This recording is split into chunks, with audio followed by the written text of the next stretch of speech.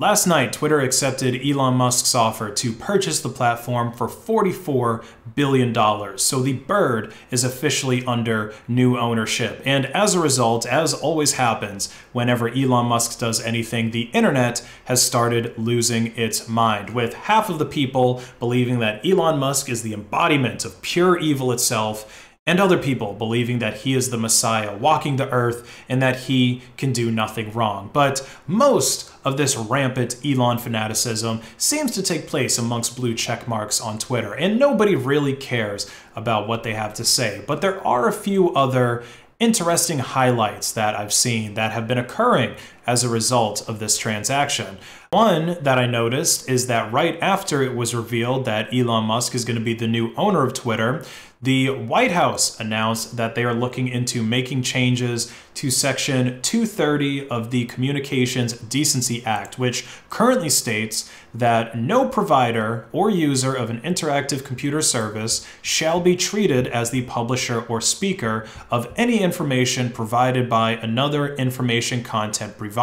So, in other words, online platforms that host or republish speech are protected against various laws that would otherwise hold them legally responsible for what other people do or say on the platform, things like liable laws.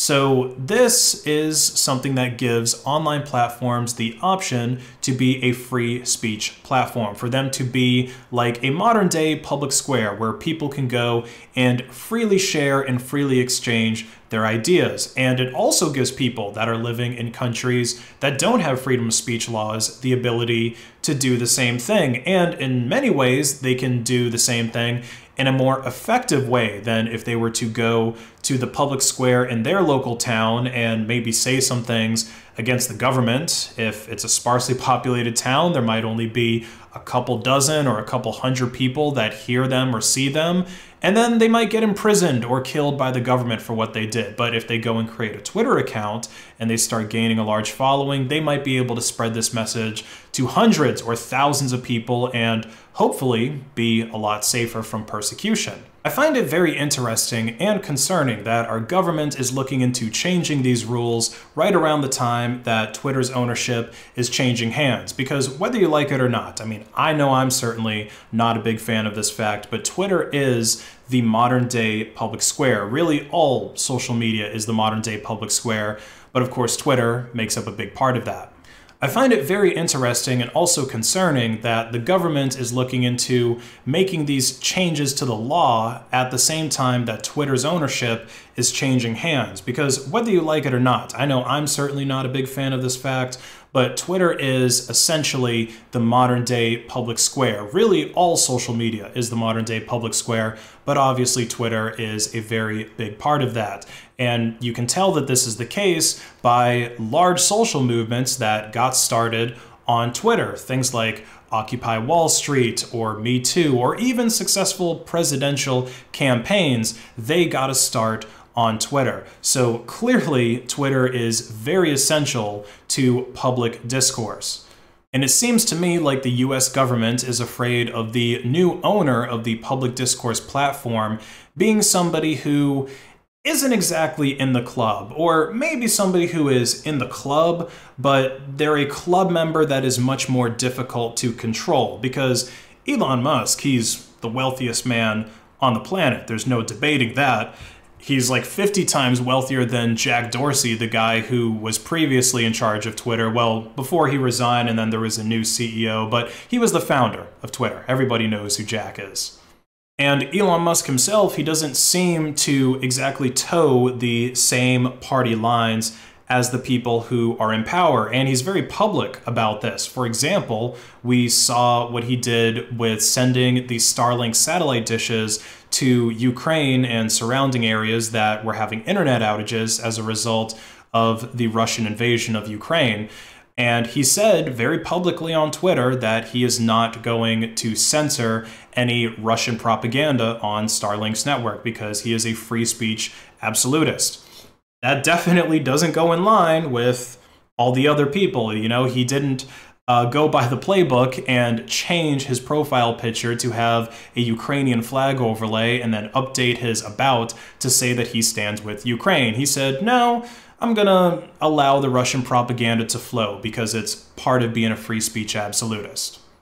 So the government making these moves actually makes me just a little bit more confident that Elon Musk is actually going to do the right thing with Twitter and make it a free speech platform, a place where people are able to freely exchange ideas because ultimately that's what the government and the people in power are really afraid of people being able to freely exchange ideas, especially ideas that could harm their positions of power.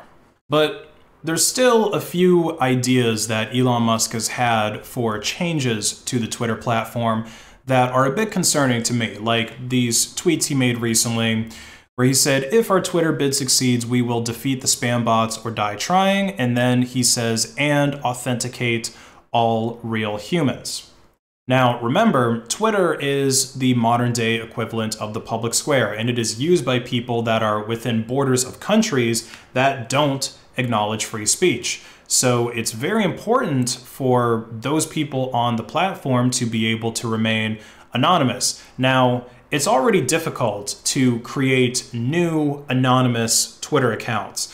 Uh, that's part of the reason why I think it's kind of dumb that they just recently created a Onion service because you're not able to really create any kind of anonymous account on there. Uh, Twitter now, and for years now, has required you to create your account with a phone number. And it's pretty difficult to get an anonymous phone number. In fact, in some countries, it's actually illegal because they require you to show ID whenever you purchase a SIM card. And even this phone requirement is clearly not enough to keep all of the bots off of Twitter. So I really don't know how he's going to defeat all of the spam bots and authenticate all of the humans uh, without some way that's going to end up being really creepy. I have a feeling that what'll happen is he'll just take a page out of Facebook's playbook and he's going to require people to upload copies of their photo ID, their driver's license, or something like that in order for them to create an account which I think would be a terrible idea. It's going to make Twitter absolutely a whole lot less private, and I think that privacy is really essential to having freedom of speech, not just in countries where people are living under some kind of oppressive dictatorship. Obviously, it's, it's very obvious why they would need the privacy. But even in countries like America, where we supposedly have freedom of speech, we still have this cancel culture that is rampant, where just because you say something that goes against some, something someone else believes in, people might try to figure out where you work at and they will harass your job in order to get you fired. They might figure out where you live and harass you and your family as some way to get revenge over something that you said on the internet. And there's also people like whistleblowers who usually want a great deal of anonymity whenever they are trying to release information. So if Twitter is going to become even less private as a result of trying to authenticate all the humans, then it's going to be an even less appropriate platform for those kinds of actions. But I'll try to end this on a good note, which is that Elon has been doing several polls on his Twitter over the last couple of months, asking people about changes that I guess he wants to make to the platform and getting them to vote on them. And one of them is him asking if the Twitter algorithm should be open source, with the overwhelming majority of people saying yes. But this one, I think, has a bit more merit to it because if you go on pretty much any search engine and you type in Twitter, the algorithm, you're going to find this GitHub page that was just created a day ago. And if we go to it, we can see that it's blank. You know, we get this 404, but this is created under the official Twitter GitHub account. Okay, if I go here,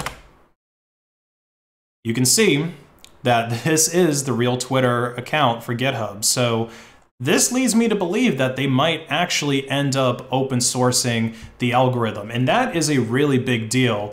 Uh, for one, it might put some pressure on other social media companies to do the same, because I very strongly believe that all of the social media platforms, but especially Twitter and YouTube, that they have some kind of backdoor manipulative action that they're able to do with their algorithm. I don't believe that their algorithms just organically promote whatever the most popular content is or whatever content you would be most interested in. I really believe that they try to promote and they also try to suppress different ideas for different reason. Maybe somebody's paying them for it, but in the case of some of these companies, like especially Google, it really makes me think that they're trying to just do it to promote their own power or promote whatever narratives they personally agree with. Because with Google, we're talking about a trillion dollar company. So I don't really feel like they're trying to make a whole lot more money. Uh, but that's a whole other discussion that we're not going to get into here on YouTube.